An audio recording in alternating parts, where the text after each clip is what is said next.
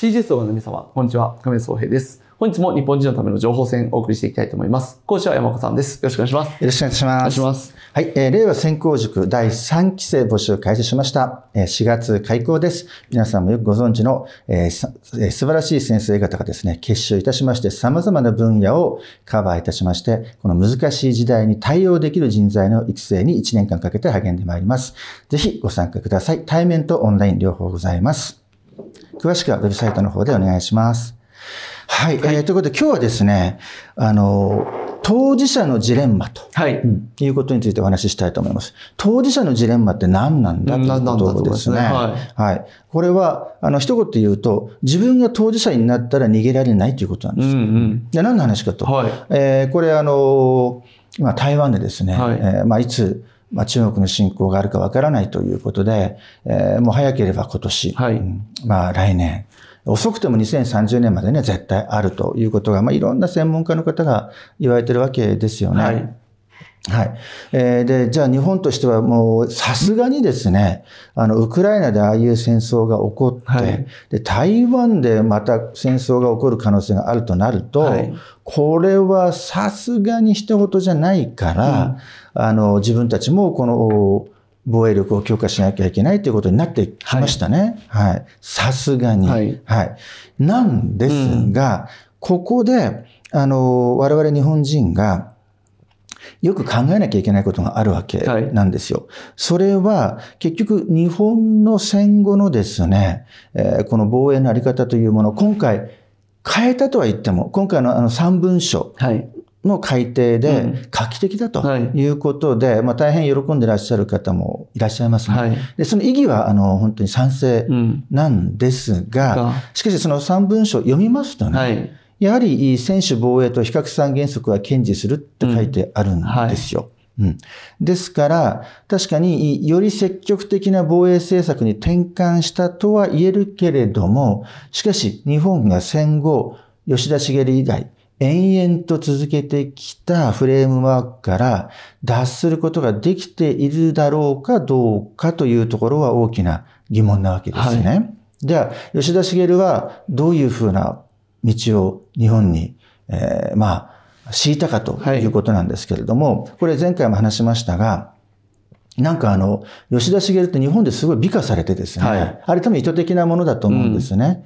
やはりあの、マッカーサーの本当はもう完璧に言いなりになったはい人間。うんしかしその人間があたかもですよ、白洲次郎とかと一緒に、もう進駐軍と果敢にですね、うんえーやり合ってですよ、はい戦争で負けても外交では勝ったなんていうふうに、うん多くの日本人が信じ込んだら、はいその方が都合がいいわけそうですね。ね。はうんい。はい。本当は完璧に服従していたと。で、これはあの、国際政治学者の伊藤寛さんはいが講演会でお話になってましたけれども、あの、えー吉田茂はあ駐英大使もした。はい。だからマッカーサーはてっきりですね、英語で語り合えると思って、はいで呼び出した。うんで、二人で話そうと思ったら、うん話し出したら、英語みたいなことを喋ってるけど、うん。何言ってるかわけわかんないと。これはダメだとい。うので、えー日系人の通訳を慌てて呼びつけて、はい。えー通訳させたとうん。いうことなんですね。はい。だそれぐらい英語力ひどかったらしいんですよ。うん。はい。うん。で、だからそれは伊藤寛さんがその通訳をした人から直接聞いたということで、うん。えー実際にはもう完璧にカッカーという服従でね、はい。うんで、全部う言いなりで、でそのもう何と言っても証拠というのが、まあ二つ挙げるとですね、えーマッカーサーがトルーマン大統領に否認されて日本を離れた。はい。その時の吉田茂がマッカーサーに宛てた手紙、はい。もう完全に恋人が去ったような、うんあの、本当木綿のハンカチーフじゃないですけど、はい あの、もう閣下が突然いなくなられて、はい私は一体どうしたらいいのでしょう、うんみたいな。何なんだって、もうそういう本当もうラブレター。はい。それからもう一つ、これはあんまり知られてないんですが、あの、マッカーサーを称えて、うん吉田茂とか、あるいは最高裁の長官であった田中幸太郎ですとか、え当時のそうそうたる面々ですね、うん指導者が集まって、マッカーサー神社を作ると、うん。ね、そういう話を決めたと。はい。で、それをマッカーサー、GHQ に伝えたら、はい。いや、もうマッカーサー元帥は、まあ、それは苦しゅうないと思っていると答えられた。うん、じゃあもう土地の選定しますと言って、本当に作ろうとした。うん、そうしたら、罷免されてアメリカに帰ったマッカーサーが、はい、えー、アメリカの議会の合同委員会で、はいうん、いや、日本というのは、ね、あの、歴史は長いけど、うん、言ってみるならば、まあ、12歳、はい、ティーンネイジャーにもなってないんですよと、精神年齢的には。ドイツ人は、えー、我々と同じ、まあ、40代なので、うん、えー、占領期間が終われば、また、あ本来のドイツに戻っていくでしょう。はい、しかし、日本人は、少年少女なので、うんうん、えー、私のこの政策、はい、ね、教育というものが行き届いていますから、うん、えー、もう元に戻ることはないんですと言って、はい、えー、こんなあの占領政策に成功したのは、ジュリアス・シーザーと自分だけだと自慢したわけですね。はいうん、でそのことが日本に伝わって、さすがにそれを聞いてですね、はい。シュンと してしまって、はい、えー、そのマッカーサー神社の話は立ち消えになったと、ね、恋人だと思ったら 実は遊ばれただけだったみたいな。そんな心境ですかね。そういうことですね。はい、はい、はい、うん、で、しかしですよ。はい、そこでね、じゃあ、もう独立すると、うん、ね、うん、これも自立していかなきゃいけないと思ったかというと、そうじゃないわけなんですね。はい、だからご存知の通り、その、えサンフランシスコ講和条約というものを結んで、はい、まあ、日本は独立するわけですが、うん、同時にですね、日米安保条約というものを別の場所でですね、はい、えー、吉田一人で署名するわけですよね。はい、で、これは、まあ、占領の続行を約束してるわけですね。はいうん、進駐軍の、まあ、反永久的な駐留ということを国として、認めたということなわけですね。はい、だからこれはまあ、これからはアメリカ帝国の庇護のもとで、うん、えー、属国の民として生きますと宣言したに等しいんですよ。はい、ところが、それもまた話が変わ、歪曲されて、うん、えー、あれはその、共同な、なんか、あの、対等な立場で結ばれた条約でね、はいうん、で、アメリカは日本を守る義務があるとか、わけわかんない。もうそれ自体が完全に対等じゃないわけじゃないですか。はい、その発想自体がね。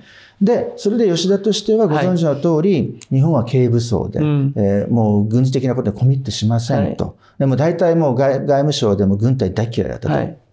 だから、まあ、アメリカをガードマン、番犬みたいに使って、うん、えー、自分たちはこのまあ冷戦にもまあ、直接は関与せず、一緒には戦わず、軽武装を貫き通して、はい、しかし経済に特化して、豊かになって見返してやると。はいだから戦争で負けたけど、経済では勝ったという形に持っていこうという目論み。うんうん、で、それは、まあ、ある意味、成功はした。しましたね。はい。はい、で、経済的にはものすごく反映した。はい、まあ、そしたらまたやられちゃったわけですけども。そうそう。まあ、1990年までは良かったって話、そこまで行った。だから、多くの日本人が、このいわゆる吉田ドクトリンというものは、うまくいったと思ってるわけですよね。はいで、だからうまくこう賢く立ち回ったというふうに、この思ってるわけなんですよ。はい、しかし、うん、実際には何しろその70年間も放置したから、はい、だから、その属国化ということは固定してしまったわけですよね。ね。はい、どんどん。だって、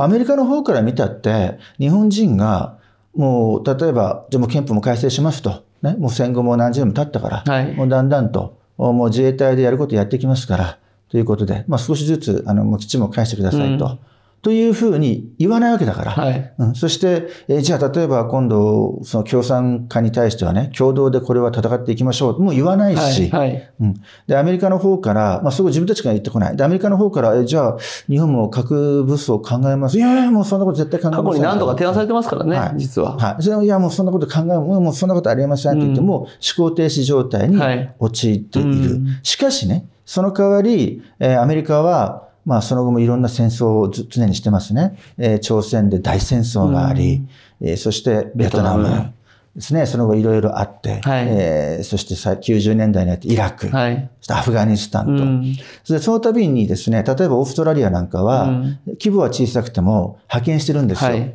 うん、でも日本は、いやいや、これアメリカが作った憲法で9条ってのありますから、いや、日本はもう本当もう関与できないんですよと、はい、もう感知できないんですよ。候補支援で、つって。